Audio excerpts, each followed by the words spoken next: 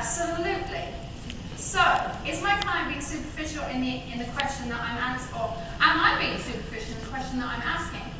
Or is there a root cause to it? It's just like this lady here.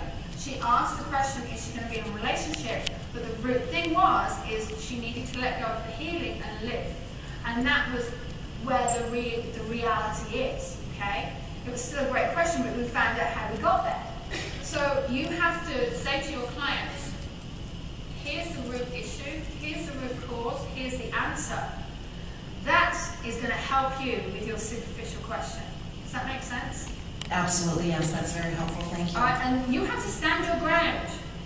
And you have to say, I only get given what you're meant to know. And then blame the rest on spirit. no, She does that already. because that's how it works. All right, so, but keep up the good work because I actually feel as though, um, are you a medical intuitive? Say that again? Are you a medical intuitive? Uh, yes, bodies talk to me. Okay, so I just thought, so you're medical intuitive. I really want, all right, here we go. Um, for some reason, I have to pull my hair off my face when I talk to you. So whether you, when you work, you have to pull your hair away. Always. All right, because I'm like, okay, I'm sitting here like this. I do things. I'm like, okay, why am I doing this? All right. So I'm having to talk because I feel as though sometimes you get a lot of cost. I feel like you claustrophobic as well. Yes. right, and you take on people's energies. All the time. okay, you need to protect yourself a little bit more. You also have to write the book. All right, because the book Oh needs to be written. All right. Yeah, I'm in the process. I- Thank uh, In you. fact, I've actually just been told that you've already started it.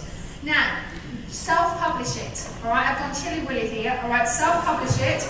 I'm going through Balboa. Woohoo! Balboa is self-publishing. All right, go self-publish it because it's going to. Oh, thank, thank you. It's going to take you onto another which is probably going to put you on a stage like this. It will. Oh, geez, here we go, chilly willy.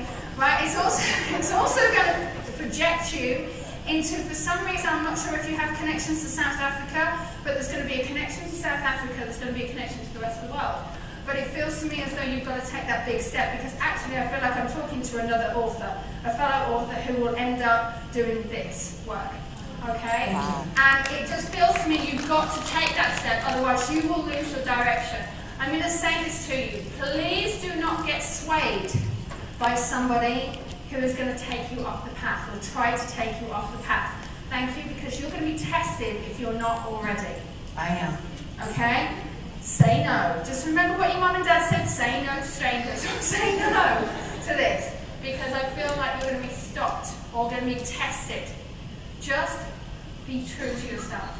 I have goosebumps. Can I tell you the name of the book? Absolutely. We'd love to hear it. It's called Embrace the Bitch Within, and bitch is an acronym for being in total connection to ourself. And it's my journey of getting cancer to healing myself. Oh my gosh. I love it.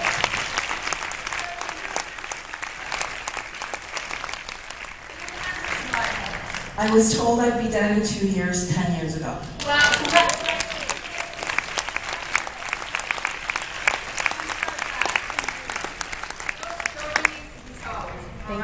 congratulations. Thank you. Cancer survivors among us, I'm one of them. Um, seriously, we all have a story. We all have a story within us, each and every single one of us. But when you can heal yourself, it's incredible. Okay, so I want to. Something keeps popping me. To, yes.